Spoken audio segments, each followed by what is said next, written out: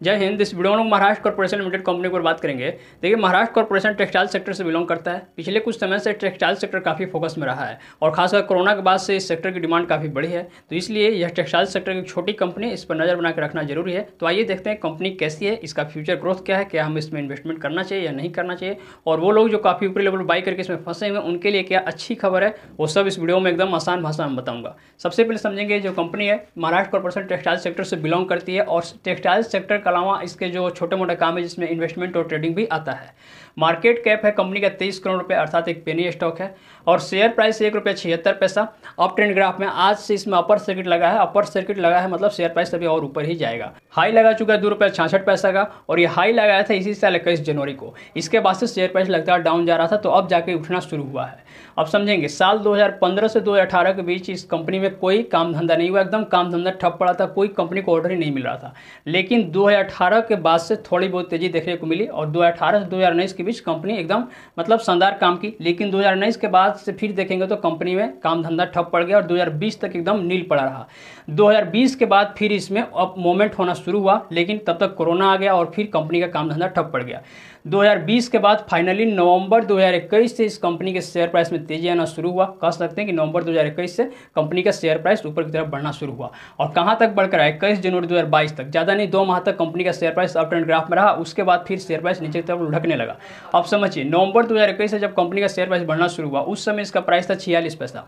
और छियालीस पैसा से इस कंपनी का शेयर प्राइस बढ़कर इक्कीस जनवरी तक जब तक कंपनी का share price up trend graph में रहा, आया दो रुपया पैसा तक। मतलब दो माह में करीब करीब इसने अपने पैसों को छः गुना किया, सिर्फ़ दो माह में। तो ये जो एक माह में तीन गुना और दो माह में छः गुना का रिटर्न मिलता है सिर्फ़ पेनी स्टॉक में संभव होता है। अब यहाँ समझेंगे, जब दो रुपया छाछठ पैसा यानी कि इक्कीस दिनों के बाद से शेयर प्राइस डाउन जाने लगा तो डाउन होकर आया एक रुपया बयालीस पैसा। फाइनली एक रुपया बयालीस पैसा से सपोर्ट लेकर इसका ग्राफ फिर अप ट्रेंड में शुरू हो गया, ऊपर की तरफ़ उठने लगा। और आज देखेंगे तो इसमें अपर सर्किट लगा है मतलब शेयर प्राइस अभी और ऊपर ही जाएगा। और जब इसमें अप ट्रेंड ग्राफ शुरू हो गया शेयर प्राइस ऊपर की तरफ़ जा रहा है तो समझ लीजिए कि एक सप्ताह का जो इसका रिटर्न है, लगभग पच्चीस परसेंट पॉजिटिव में आ गया है।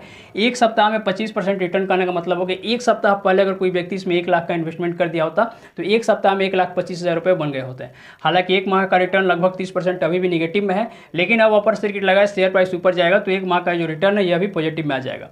साल भर का रिटर्न अभी भी इसका ठीक ठाक है 230 का मतलब हुआ कि साल भर पहले अगर कोई व्यक्ति इसमें एक लाख का इन्वेस्टमेंट किए होते हैं तो अब तक तीन लाख तीस हज़ार रुपये बन चुके होते हैं। लेकिन सवाल ये है कि इतना रिस्की शेयर जो कि पेनी स्टॉक है, इसमें एक लाख रुपये लगाएगा कौन? तो लोग लगाते हैं, जिसके पास रिस्क लेने की कैपेसिटी होती है, जिसके लिए एक लाख कोई ज़्यादा मायने नहीं रखता, वो लोग रिस्क लेते हैं, इसमें लगाते हैं। अब समझिए, यहाँ तक तो आप समझ गए, अब फंडामेंटल चेक कर दें कि फंडामेंटली कंपनी कितना स्ट्रॉन्ग है। तो समझेंगे, कंपनी का जो रेवेन्यू है प्रॉफिट अर्निंग पर शेयर कुछ खास पिछले क्वार्टर में बढ़ा नहीं है। रेवेन्यू तो पिछले कई क्वार्टर से बिल्कुल नहीं हुआ, एकदम ज़ीरो ज़ीरो रह रहा है पिछले कई क्वार्टर से। इसका कारण है कि मैंने आपको बताया यहाँ, देखिए, साल दो हज़ार पंद्रह से कंपनी का काम धंधा ठप पड़ा हुआ था। अगर एकदम सटीक बोले तो दो हज़ार इक्कीस से नवंबर दो हज़ार इक्कीस से कंपनी को ऑर्डर मिलना शुरू हुआ कंपनी का कामकाज आगे की तरफ़ बढ़ना शुरू हुआ है। तो अब उम्मीद है कि जो अगला क्वार्टर का रिज़ल्ट आएगा, उसमें रेवेन्यू कुछ आपको बढ़ता हुआ दिखे। प्रॉफिट भी कुछ खास नहीं हुआ क्वार्टर टू में भी कंपनी को दो दो लाख का लॉस हुआ था और क्वार्टर थ्री में लॉस बढ़कर हो गया तीन लाख का क्योंकि कुछ सेल्स हुआ नहीं और कंपनी को चलाना है तो पैसे की तो ज़रूरत पड़ेगी। तो स्वाभाविक है कंपनी कर्ज लेगी कर्ज लेगी तो लॉस बढ़ेगा, इसलिए दो लाख से बढ़कर तीन लाख लॉस हो गया है। और अर्निंग पर शेयर तो पेन स्टॉक में कुछ खास मायने नहीं रखता, यह भी ज़ीरो ज़ीरो पिछले कई क्वार्टर से ज़ीरो ज़ीरो ही रह रहा है। अब यहाँ समझेंगे कंपनी के पास रिज़र्व है, यह भी निगेटिव है, चौरानवे लाख का माइनस में है, इसके पास रिज़र्व मतलब कैश पैसा नहीं है। कर्जा है उनसठ लाख का, लगभग साठ लाख मान लीजिए, और यह कर्जा भी क्वार्टर टू क्वार्टर बढ़ते जा रहा है। मतलब फंडामेंटली कंपनी बिल्कुल नील है। और असेट्स की बात करें, जो कंपनी की खुद की संपत्ति होती है, वह तेरह करोड़ सैंतालीस लाख है। ये एक अच्छी बात है कि यह बढ़ रहा है। मतलब कंपनी की जो खुद की संपत्ति है, उसमें विकास हो रहा है। अभी तक ये एक पॉइंट ठीक मिला इतना फंडामेंटल में। लेबिलिटीज़ देखेंगे, सतासी लाख का है। सतासी लाख इस कंपनी के लिए ज़्यादा है, क्योंकि इसका मार्केट कैप सिर्फ़ तेईस करोड़ है। तो इस हिसाब से लेबिलिटीज़ कंपनी के ऊपर ज़्यादा है और यह भी साल दर साल बढ़ते जा रहा है।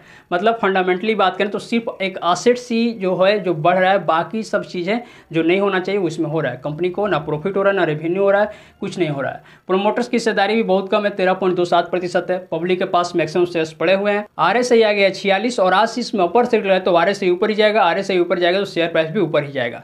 तथा company S M G S M net से बाहर है, यह भी एक कंपनी के लिए प्लस पॉइंट है। तो दो चीज़ कंपनी में ठीक मिला। एक तो आज इसमें अपर सेट लगे तो शेयर प्राइस ऊपर ही जाएगा। दूसरा कंपनी के असेट्स बढ़ रहे हैं, तीसरा कंपनी एस एम लिमिट से बाहर है। बाकी अगर फंडामेंटल की बात करें तो फंडामेंटल कुछ नहीं एकदम बैड फंडामेंटल है। लेकिन सवाल यह कि क्या आपको पेनी स्टॉक में फंडामेंटल देखना चाहिए? मैं अगर सही से इसका जवाब दूँ तो पेनी स्टॉक सिर्फ़ फंडामेंटल की बदौलत ऊपर नहीं बढ़ते पेनी स्टॉक का शेयर प्राइस ऊपर बढ़ने के पीछे कारण होता है मार्केट में उसकी हाइप कितनी उसका डिमांड कितना है, लोग उस शेयर के दीवाने कितने तो समझिए पेनी स्टॉक जो होते हैं फंडामेंटल से नहीं बढ़ते यह ऑपरेटर्स के द्वारा रन किए जाते हैं। ऑपरेटर्स जब इसको चाहते हैं शेयर प्राइस ऊपर लेके जाते हैं, चाहते हैं, नीचे डुबो देते हैं। तो अगर आप इस स्टॉक में इंटरेस्टेड हैं इन्वेस्टमेंट करने के लिए तो थोड़ा बहुत अमाउंट लगा सकते हैं जितना आपकी रिस्क लेने की कैपेसिटी हो। अगर शेयर प्राइस बढ़ा तो आपको मुनाफा हो जाएगा। डूब गया तो आपको कोई तनाव नहीं होगा। उम्मीद करता हूँ मेरी बातें आपको समझ में आ रही होंगी। अगर कोई सवाल है तो मुझसे कमेंट में पूछिए, बाकी मिलते हैं नेक्स्ट वीडियो में। और पर्सनली मुझसे जुड़कर कोई बात पूछना चाहते हैं तो मुझे इंस्टाग्राम पर भी फॉलो कर सकते हैं। धन्यवाद, शुक्रिया।